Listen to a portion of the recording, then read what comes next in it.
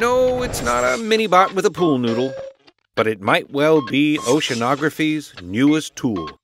Without the use of fuel, a self guided seafaring robot has completed its one year, 9,000 mile journey between San Francisco and Australia.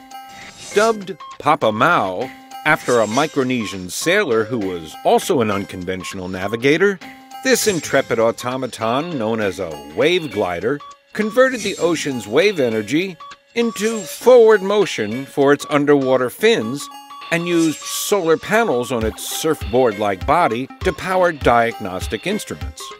Gathering information about the Pacific Ocean's health, Papa Mau survived high seas, storms, and sharks to prove the concept that these small, relatively inexpensive robot researchers can do the same science gathering job of larger conventional vessels whose crews can spend months at sea.